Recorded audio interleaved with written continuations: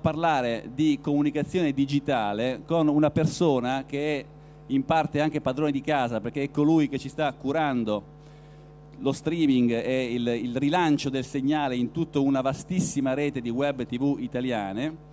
Questa rete di web tv italiane si chiama Altra TV, è una rete che raggruppa centinaia di web tv in tutta Italia e ha contatti con testate web in, tutto, in tutta la rete. Lui si chiama Giampaolo Colletti e io lo invito sul palco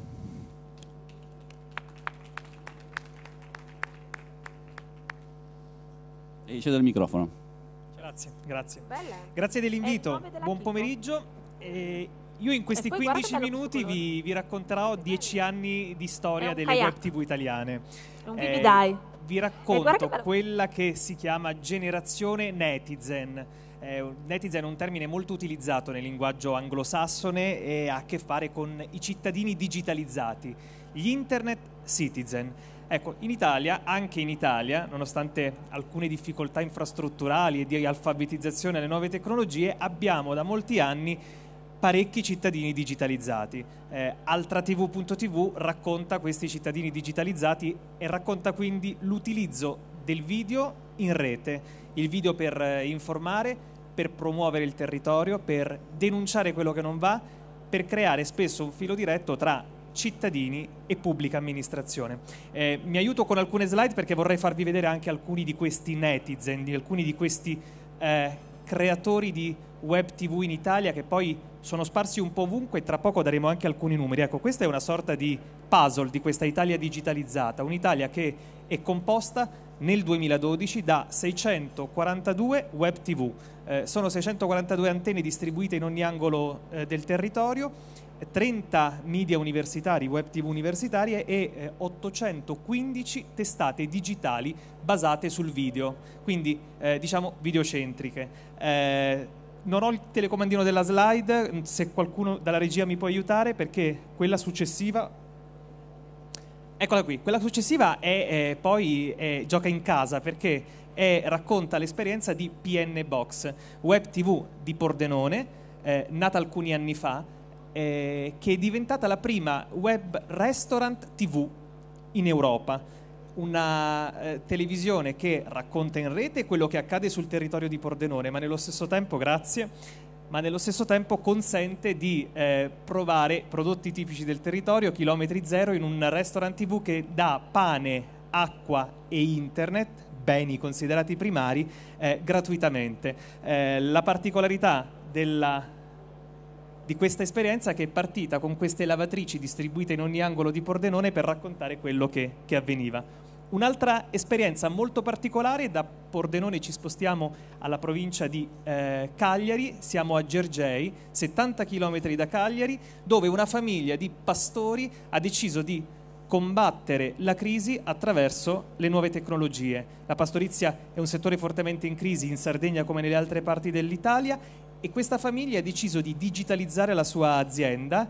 Eh, il pastore, la famiglia Concas, ha creato il cosiddetto videoblog del pastore e la possibilità di adottare una pecora a distanza.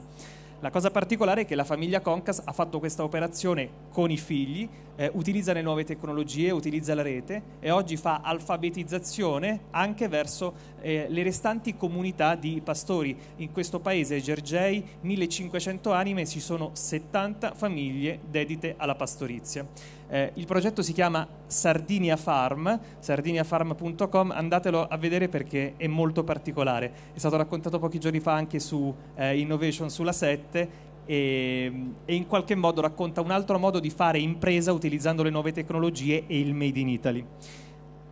Vado avanti e racconto un'esperienza che ha legato una comunità territoriale eh, legata a un territorio montano come quello abruzzese con chi ha deciso di andare fuori Italia per lavoro, per necessità e quindi la comunità di italiani all'estero. Questa è la web tv della Val Montano, provincia di Teramo, creata da due ragazzi, vedete, con telecamerine semiprofessionali, queste eh, telecamerine che ti permettono oggi di realizzare un contributo video e poi di postarlo in tempo reale in rete. Le tecnologie sono diventate molto più flessibili, però la particolarità di questa web tv e un po' di tutte le web tv italiane è che hanno saputo creare un legame anche con la comunità di italiani all'estero e dalla rete, dal web, e questa è un'altra particolarità tutta italiana, eh, queste eh, esperienze creano degli incontri fisici e quindi ci sono eh, i bar camp, ci sono i flash mob, ci sono gli incontri, i meeting. Pensate che questi due ragazzi Alfio e Roberto riescono ogni anno a eh, intercettare a Ferragosto, in un periodo eh, vacanziero, chi decide sì. di andare, di tornare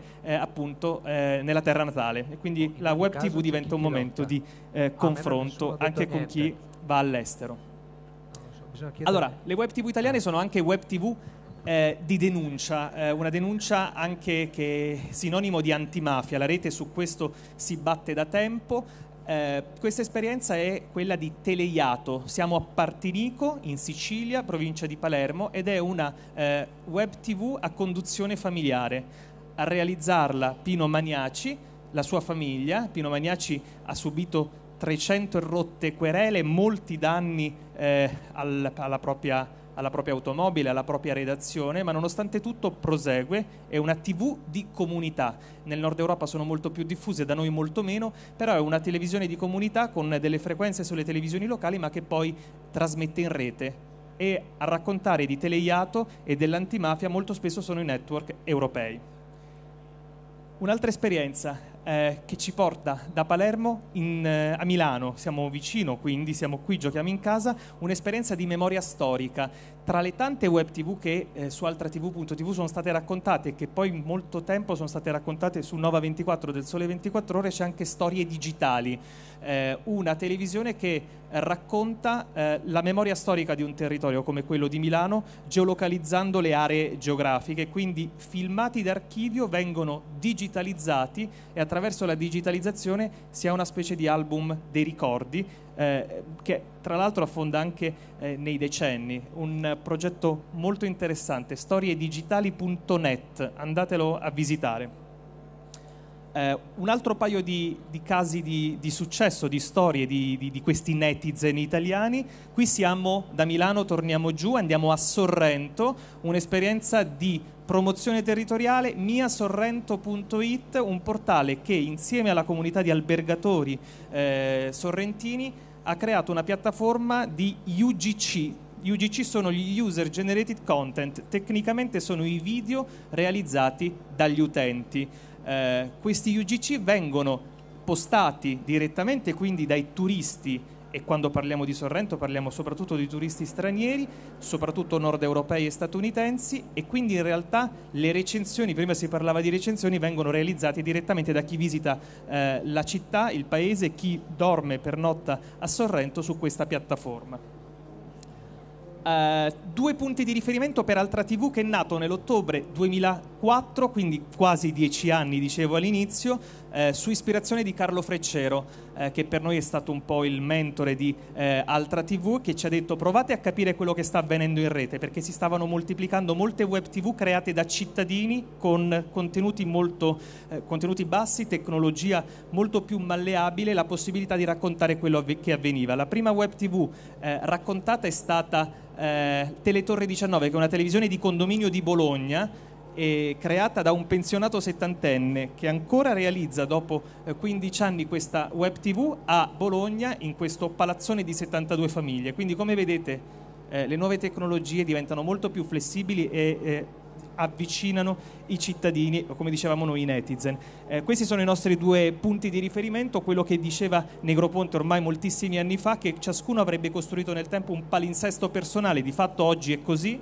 e poi l'idea che piccoli fenomeni in rete riescano a determinare quelli che sono i macrofenomeni eh, della rete. Quindi quello che accade in un territorio può essere interessante e di analisi per un contesto più ampio e determinare i fenomeni del futuro. Ultima slide con i numeri, queste alcune informazioni sull'osservatorio, quelle che vi ho detto prima, ma vado alla slide con i numeri eh, che, che, che, raccontano appunto eh, Netizen, che la nostra ricerca annuale uscirà a marzo, Netizen 2013 Guardate la crescita, nel 2003 erano 36 le web tv create da questi cittadini digitalizzati, 2010 533, nello scorso monitoraggio eh, raccontato sulle colonne di Nova 24 e del Sole 24 Ore 590 web tv con un tasso di crescita del più 11%. Eh, quindi molti canali aumentano eh, di numero e eh, si crea un nuovo indotto, una nuova filiera. Si stima che oggi operino con le web TV in Italia 10.000 eh, videomaker, molti dei quali ci stanno rilanciando in queste, in queste ore, in questi minuti. Eh, io vi ringrazio dell'attenzione e, e, buon viaggio tra le web tv italiane perché su altratv.tv è possibile navigare una mappa interattiva e quindi crearsi il proprio palinsesto personale. Grazie.